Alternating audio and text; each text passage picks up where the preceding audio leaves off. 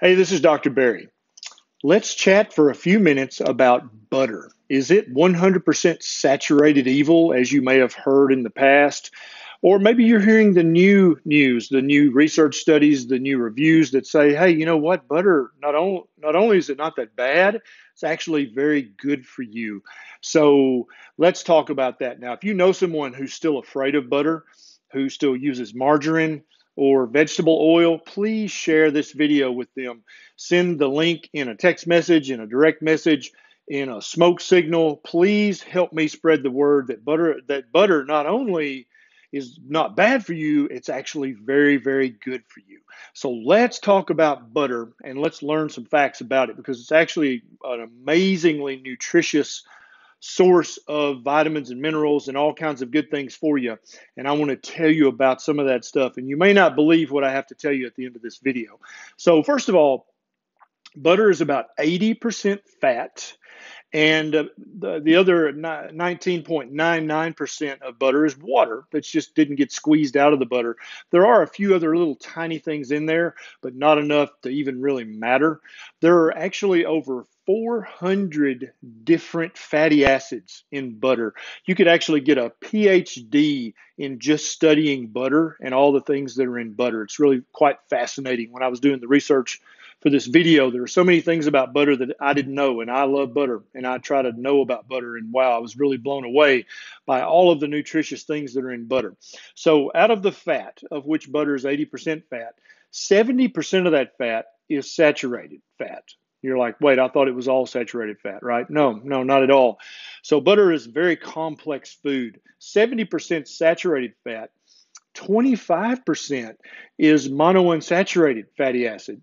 Okay, which that's the good stuff. That's right. You hear about that all the time.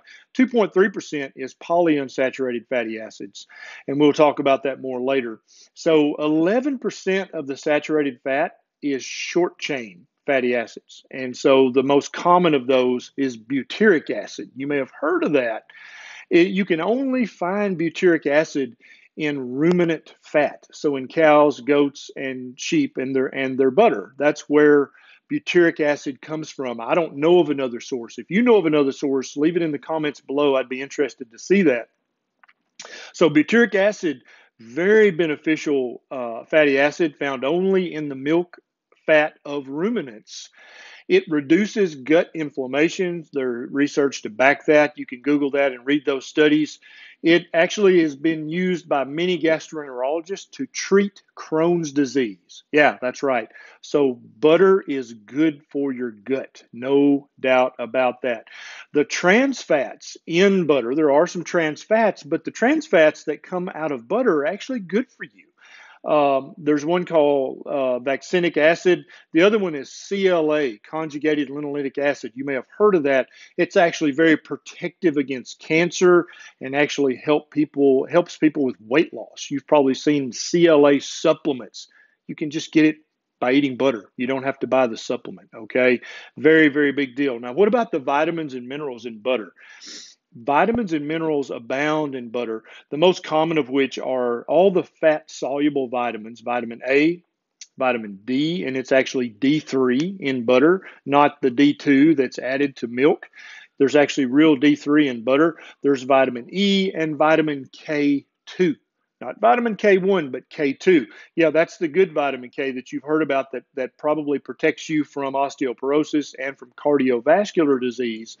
This vitamin K has nothing to do with your bleeding or clotting cascades. It doesn't interfere with any of any of the blood thinning medications that you may be on or may have heard about. It has no effect on those. You can have this vitamin K, vitamin K2 at liberty. It does not affect any clotting medication that you or loved one uh, may be on. So, study after study in the past were actually designed to show that butter was bad for you, right? Huge studies, and they and so but then when they crunched the numbers, they're like, hmm, butter butter ain't bad. Okay. And so a lot of those studies just got pushed to the side but there are some of those that actually got published and you can read that research. Actually recently a huge review of all the studies showed that butter is not in any way bad for you. It's actually very protective.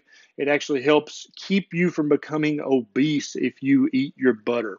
So the the the butter when the fat in butter when you eat it it's going to raise your HDL, which is a very good thing. It may also raise your LDL, and that may send up your spidey sense, right? You may say, wait, that's bad though, right?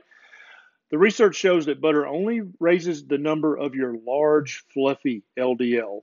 Okay, it doesn't it doesn't increase your your uh, the amount of your small, dang, possibly dangerous LDL. It only raises your levels of the large, fluffy, non-dangerous, actually protective LDL.